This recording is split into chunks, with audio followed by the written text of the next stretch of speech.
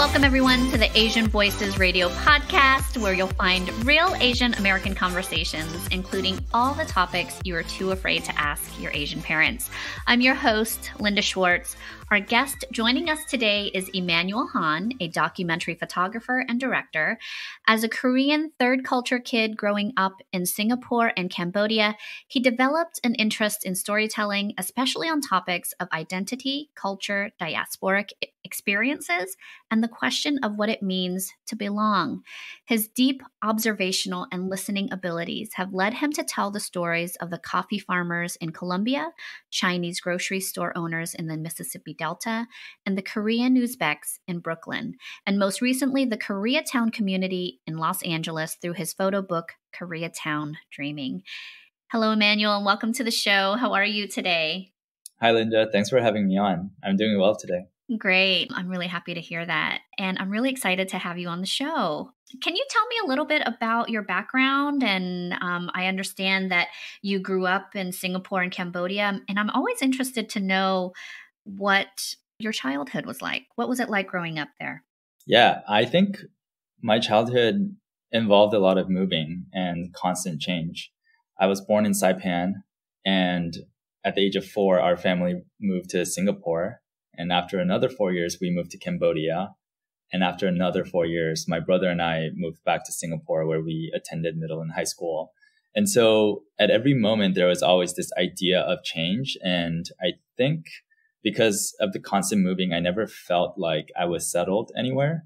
And then I think to add on top of that, the fact that I was Korean by ethnicity and American by nationality, but lived in a third culture like Singapore and Cambodia and Saipan.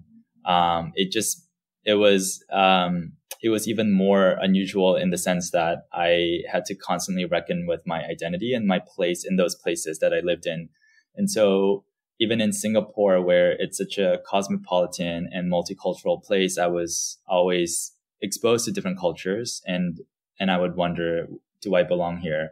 Um, and same thing in Cambodia, where my parents were missionaries and they still are to this day. Um, and I think kind of moving through all these different countries with very different socioeconomic conditions, um, stages of development, and obviously, um, different pasts and histories. For for instance, in the example of Cambodia, where they had um, one of the most atrocious genocides in the world, I think at each point, I think there was a lot of learning and attempting to understand the culture, even as a young kid.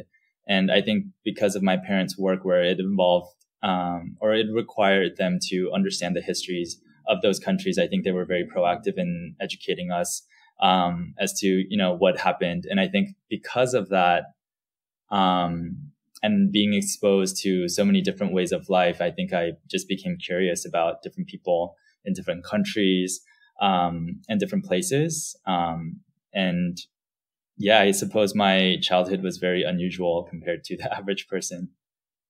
Yeah. And so, how did your curiosities lead you into the work that you're doing now? Yeah, I actually took a really winding path to storytelling. Um, so for a lot of my childhood and schooling, um, everything was kind of geared towards a more professional track. Um, so I studied the humanities in high school, and I suppose that's kind of where I first learned, um, or I, I, guess I first discovered um, an interest in what it means to be human. But that was kind of pushed aside when I w- went to NYU for um, a finance major and graduated with a finance degree and worked in tech for two years. And I think like early on, I was not really exposed to the arts and I didn't consider a career in the arts as something that was possible. And I thought very practically in terms of like, oh, I'm going to get a good job. Maybe I'll start a company and maybe, you know, I'll just kind of be self-sustaining because the other way that I grew up was very poor. And I, I wanted this sense of like control and, and sustainability in my own life financially. Um, and over time, I, I guess I, I just couldn't resist the fact that I, I loved reading stories and that, um, there was something about storytelling that really pulled me and the way that I sort of entered into that um, that field is was through photography. Um, so when I was in college, I was kind of dabbling in photography as a hobby. And when I was studying abroad, I would kind of photograph all the places I visited. And yeah, and I guess just over the years, I just honed my craft. And at a certain point, um, about two years into my first job out of college, I decided to quit and try photography full time and go freelance. Um, I probably had like a thousand or two thousand dollars in my bank account, but I just really went for it. Um, and I just kind of told myself like, I'll give myself a year. And if I can't make it in photography, I'll just go back to tech, which didn't seem that hard at that point. Um, and I guess even within my journey in photography, it started off very commercial, just kind of paying the bills. And then over time, I worked on a couple of projects that really solidified this idea of like, wow, I can just go places and tell stories and that I, you know, it, it's just accessible. And also just kind of seeing the impact of that and people like learning about different communities and just being really um, interested in those stories. Um, it just gave me a lot of validation. Yeah, I mean, it must have been really scary to step out on your own and venture out into uh, the unknown, especially in the arts. Like, there's all there's like this construct in society that says, you know, you can never make money in in in your chosen field, especially if it's art. So, um, what was your mindset going into that? I mean, you talked a little bit about it, but can you expand a little bit more? Yeah, I mean, um, it was just really, uh, I don't know, it was just kind of like I, I just believed that I could do it. I guess, I guess a lot of creatives have this sense of like confidence in themselves, um, like the belief that that you can just make it happen. And I think like I, I did take some practical steps. You know, I just I made sure that um, my, my costs were low, that I wasn't spending more than I earned, you know, kind of like basic things like that. Um, and I guess a lot of people point out that I do have a finance degree. So it's not a foreign concept to me of like, to, you know, to stay in the black, so to speak. Um, that just sounded really nerdy, but, um, I think for me, I kind of had this very, uh, practical approach for the first few years where I kind of pursued more of the commercial side of photography because I knew that was where the money was. And I do think like a lot of artists struggle or give up because they haven't found a way to maintain that financial sol- solvency. And for me, I guess I, I was kind of lucky in the sense that I came from the tech world. And so early on in my career, I just did a lot of gigs for tech companies, whether it was shooting headshots or shooting events. I did some wedding photography. And I think over the years, as I improved in my craft and improved my network, um, I was getting, you know, better gigs and that eventually gave me the freedom to pursue some of these more documentary projects out of my own pocket.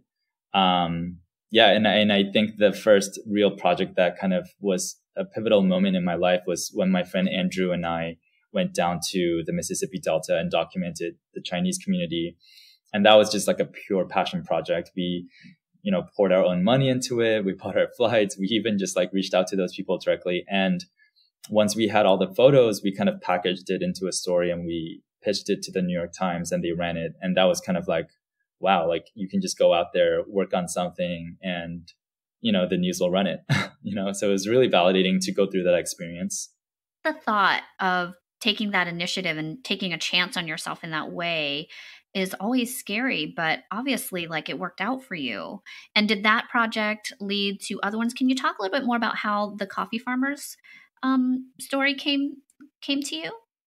Yeah, um, I think uh, going back a little bit, the the project in the Mississippi Delta, it was almost just like the story was too good, and sometimes when you just when you just see like how good a story is, it, it's just like the story hooks you in, you know, like and you become a slave to it, so to speak. Like you just have to do it, and I think maybe that is just like a creative mindset.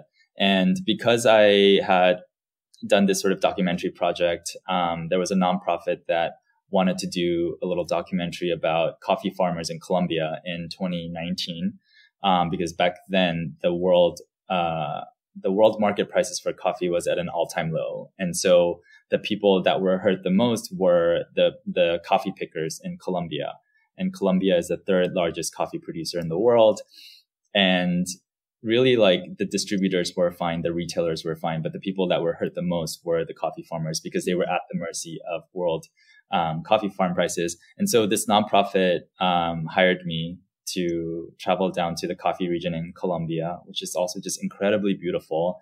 And yeah, we just interviewed farmers, um, many of whom were also migrants from Venezuela when um, there was that mass migration out of Venezuela. And so, yeah, we were just photographing, talking to them. And I don't know, I think like I work best when I'm sort of in an environment and like I just see what's happening and I'm just like kind of a fly on the wall and I try not to be too intrusive and I just kind of observe and I try to find good stills.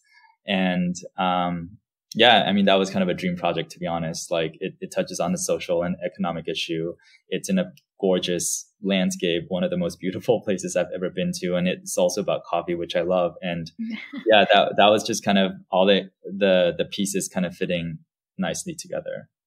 Yeah, it sounds like there's been a lot of serendipitous moments in your career that, you know, just one thing leading to another. And um, but before we, you know, go on to the next thing, I I'm I am a real crypto fan and we can, we don't have to talk about it. But um, just quickly though, before we move on, I'm dying to know like what your thoughts on crypto is. Damn. Uh, is it you saw on my LinkedIn that I worked at a at a crypto exchange? Um, yeah. So you know, right out of college, my first job was working at this um, Bitcoin exchange. It was called Itbit at the time. Now they've rebranded to Paxos. Um, and the guy who hired me, he actually was my former boss at an internship. And so I was kind of brought in to be this sort of like generalist, chief of staff um, to help scale the company. And we did. Um, when I joined, I was employee number three, and we got to like 60 before I left and started doing photography. But you know, my my ideas on crypto back then um, are still consistent now, which is that I don't believe in it as a currency, not in the way that we understand fiat currency. Sure, and sure, even sure. back then, um, I think there was this this understanding of Bitcoin as kind of like a store of value, like this almost speculative asset Although back then in 2014, the price was hovering at $600 for two years. Um, so I, I, bought in at $600 and I sold at $600 before I left, you know, to pursue photography because I had to buy gear. Um, so, you know, my life could have turned out very differently. Completely different. Could have been retired by now, but, um, but I, I'm but hey, now you're now you're working on your passions and you're, you know, there's something to be said though about creating something from nothing mm. and going after your dream and pursuing it with a drive and a passion that is born out of just curiosity and interest. And that's what it sounds to me like you did. And I mean, you know, the work that you have done and are doing, I'd love to touch on this current project that you're working on, the Koreatown Dreaming. Like, how did that come to be? Yeah, I think um, the Koreatown Dreaming project honestly came to be very organically. Um, I moved from New York to LA in November 2020 in the height of the pandemic. And one of the reasons I moved was because I wanted to work in film, and I still do. And when I arrived in Los Angeles, you know, everything was closed. So, you know, there was not a lot that I could do. I couldn't network. I couldn't work. Um, so I was just, you know, kind of collecting unemployment and thinking about ways to stay busy and sort of productive in my photo career. And one of the things that I sort of like told myself I would do is to give myself a little project to work on. And so mm-hmm. for all of December in 2020, my goal was to just get myself to Koreatown, park somewhere, and then just kind of walk around. And initially, the idea was that I would capture some of the architecture of Koreatown because I'm fascinated by how like stuck in time it seems to me. Like if you walk through certain parts of Koreatown, it really feels like nothing has changed since the 90s. Um, and so that's how it started. I just kind of started walking around Koreatown and I was like, oh, that's cool. That's cool. Like, that's a cool sign. Um, and eventually I think I got bored of just being outside. So I walked in to some of the stores and I started talking to the shop owners. And often I would just be the only person in the entire store or like even the entire building. Um, and so I started talking to the, to, to one of this, uh, shop owner early on and, you know, she just kind of opened up. Like she just talked about her life, her kids, her dreams her past and like this entire journey. And I was just kind of like, you know, I was just really uh, captured by her story. And so I just kept listening. And at the end, I asked her if I could photograph her. and she agreed, but she agreed to just one photo. And so I took it on my film camera and, you know, thank God it came out. Um, and really that was the first photo that became the series. I had collected a bunch of these stories and I was kind of sitting on them and I wasn't really sure what to do with them. But one day I decided to share them on Instagram. And the moment I did, I felt like a lot of people just responded really well to it. And, you know, I think people who had grown up in Koreatown or people who were just really interested in Koreatown, they just responded and they said, wow, this just reminds me of like when I grew up, or um, I'm just really glad that someone is telling these stories.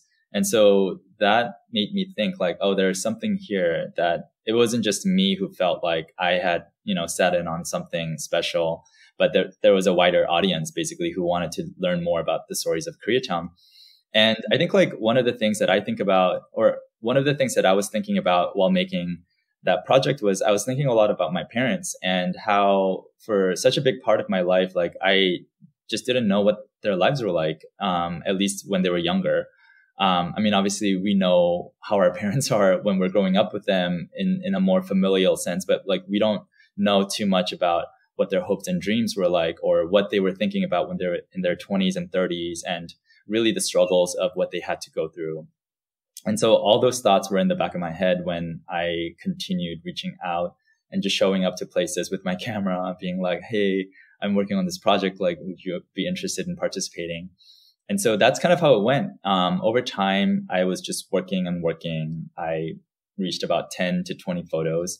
And at that point, I think I, that was when I felt like, oh, I can make a book out of this because initially I was trying not to, um, because there's, it was going to be so much work and it was supposed to be this side thing. And then over time, I think I, I just felt like, oh, this is the right time. Um, during the pandemic, um, and also like in 2021, when there was a rise in anti-Asian hate crimes, I just felt like, oh, these stories become even more important. And like, I think people just have to know that. And so, yeah, the, the photography continued. I ended up shooting 40 different small businesses. Um, and then I raised some money on Kickstarter and found a printer in Hong Kong, worked with a designer to get the book done. And yeah, the books arrived in the middle of March this year. That sounds like a really phenomenal project. Isn't it? Like what just came forward for me while you were sharing that is isn't it interesting how when you get an idea for something or start working on something how just the process of being in the creative aspect of it and doing the work makes itself want to manifest through you. Like there's no other person that this project could have manifest through. It always surprises me that like no one from LA has made a project like this before. And I always kind of joke that like it really took a New Yorker to come to LA to tell the stories of Koreatown.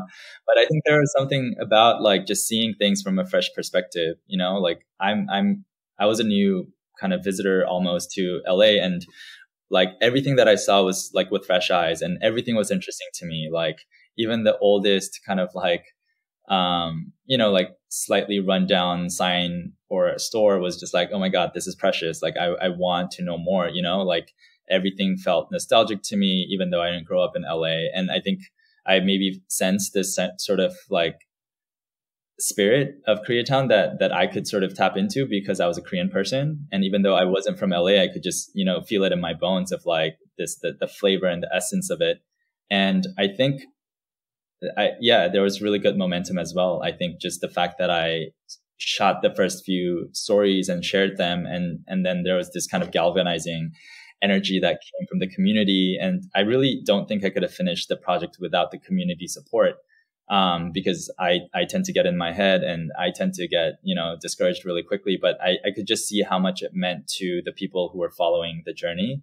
And just like people reaching out on Instagram being like, Hey, like that was my, my dad's cousin or like that was my friend's friend's father or something like that. And, and I was like, yeah, like I'm surprised that no one has I mean, I'm sure there are people who have, um, and, and, I know for sure that there's a lot of um, stories that have been preserved by the Korean press, um, but that's you know in a language that's not very accessible to the second generation, and so it just you know, like I, I think I found the meaning as I was working on the project. It wasn't like I was trying to do this grand thing of like recording histories. All I was trying to do was like tell individual stories. And then over time, when I look back, it, be- it became this collective history. And I think like maybe that's the thing that I didn't, I didn't even realize when I was making it was that I was creating um, a historical document. And I think that's the thing that I, I, I find a lot of satisfaction in. Um, obviously the aesthetic parts and just the storytelling parts are great, but like the fact that this can be a record of people who lived in LA and kind of built it up to what it is today. Um, so while I was working on the book, I actually met someone and I, and she was undocumented and it was really kind of eye opening for me to learn about the undocumented community in Koreatown. And so I ended up working on a short documentary with her to just kind of tell her life story and what it's like to be Asian American and undocumented. Um, I think people kind of tend to gloss over the fact that there are 15% um, of the Asian American population that are undocumented. And so that was one of the most meaningful projects that I did to kind of be able to tell this story, this extremely personal family story, and how being undocumented impacted them. And that's an area that I that I want to explore a bit more. Um, so in line with this, um, so in line with this documentary, um, I'm writing a short film that's about a similar experience that that I hope to make into a short film soon. Well, that's a beautiful story, and I'm really glad that you're that I'm hearing this and that you're having the opportunity to share it with with us. Um, I w- wanted to ask you mentioned something about your parents, like not knowing their past, not knowing their stories. Have you had a chance to connect with them and to learn to learn that aspect of, of their lives? Yeah, I think as I get older, I am starting to learn more about them. Um, I would say it's like collecting little nuggets that over time kind of create a, a fuller story. Um, but I think like one of the big, or I guess one of like the ways that I grew up that was different from other people was that my brother and I grew up by ourselves from age 12 and 13. Um, so both of us um, grew up in Singapore and our parents basically rented out an apartment for us. And so we had to raise ourselves. I, guess that's a very uncommon way to grow up, to put, put it mildly. And I, I think so there was this additional layer of like not being around my parents. And so like an additional layer of like not knowing what they were like. And so it, it almost like took 10 years after for us to become adults to reconnect with them at a different level because when we were kind of left alone like we were kids. And i think when you know like i have two older brothers but like when all three of us kind of grew up like i guess our relationship to our parents changed and we kind of started to see them more as adults and peers rather than like this sort of like vaunted uh, for this like vaunted kind of figure. And so whenever I travel with my mom, um, you know, I'll ask her certain things and, you know, it's, it's, it's a process. I think like, even though we're older, I think they still see us as kids and there are certain things that I'm sure they don't feel as comfortable sharing. Um, and also like, I guess maybe, you know, there are a lot of, um, emotional things that are tied up with it as well. Um, but yeah, I think over time I've I've become a, a, bit more proactive in asking questions, and I think now when we have phone conversations, we can kind of broach topics that maybe feel uncomfortable, um, but they always offer kind of like a unique insight into like who they are as people, and in, in a weird way, or I guess maybe it's not so weird, but like you start to see how how you're so alike to them, even though you might not have grown up with them, like certain beliefs or mannerisms that you just that you just kind of inherit. I'd be so interested in seeing your story. Real. I, I, suppose that'll happen at some point in my life.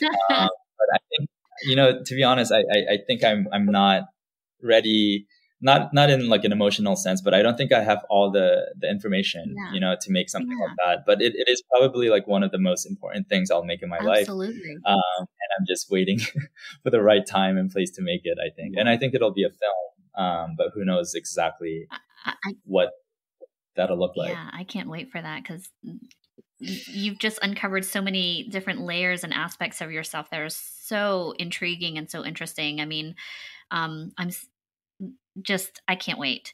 But we're coming up at the top of our time together, and I just wanted to thank you for being on the show. Um, can you share with us where people can find you, your socials, your website? Yeah, so um, you can purchase a book on the website, which is koreatowndreaming.com, just spelled out, um, you know, nothing fancy. Um, if you're in LA, it's also in select bookstores like Now Serving, uh, Chevalier's, Skylight, and some other, and of course, Kim's Home Center, which is one of the sponsors of the book. Um, they have one of the largest inventories. Um, you can find more of my work on my Instagram, which is at Hahnbo, H A H N B O. And you can also see more of my work on my website, which is just emanuelhahn.com. I want to thank our guest, Emanuel Hahn, for joining us today. If you have any suggestions for future guests or topics, we'd love to hear from you. Also, be sure to subscribe on your favorite podcast platform, as well as follow us on Facebook, Twitter, and Instagram. Asian Voices Radio is produced by Asian Culture and Media Alliance, a nonprofit that empowers our API community with a voice through media arts. If you would like to support our program and make a donation, please visit AsianVoicesRadio.com. And thank you for listening. I'm Linda Schwartz. Please join us next week for another exciting and thought provoking Asian Voices radio show. Until then, take care, everyone. Bye now.